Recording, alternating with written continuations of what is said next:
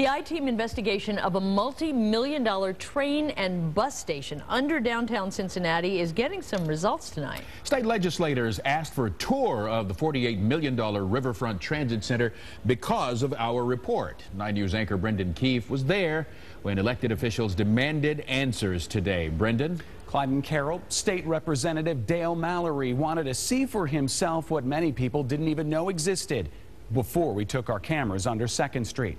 With the Cincinnati media in tow, Representative Mallory boarded a Metro trolley, the only bus inside the transit center all day.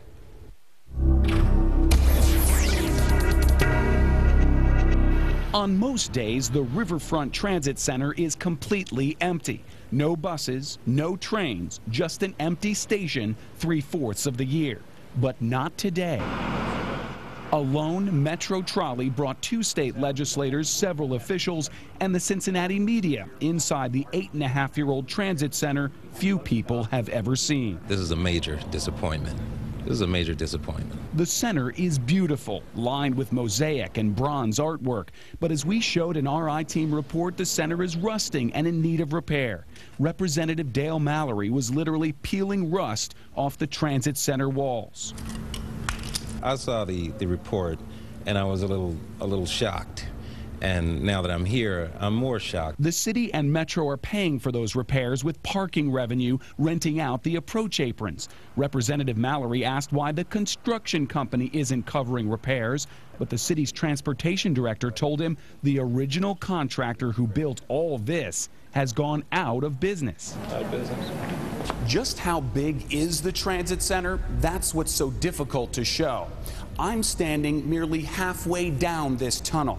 It's a half mile long, 84 feet wide, and two stories high.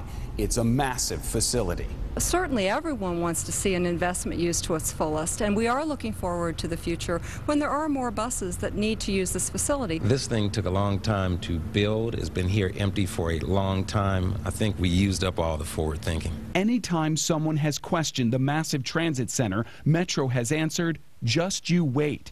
The 375,000 annual passengers projected by 2010 have not materialized, and the estimated 60,000 school kids a year don't use the Freedom Center's dedicated underground entrance. The buses use 2nd Street on top.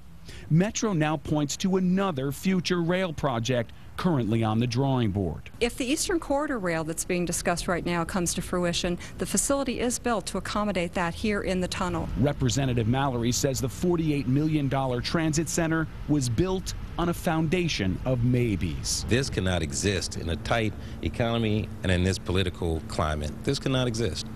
This is, this is insane. And Metro officials said they were happy to give the tour to clear up any misconceptions. To that, Representative Mallory asked what in our I-Team report was inaccurate. Metro answered, nothing. We had called his brother, Mayor Mark Mallory, for reaction after our initial investigation, but the mayor refused to comment, saying it wasn't built on his watch. The transit center is operated by Metro, but completely owned by the city. The mayor wasn't aware. Representative Mallory says he will work with the city manager to make sure this aging and empty asset is used to its fullest potential in the future. Clyde? Simply amazing, Brendan. Good work. Thanks.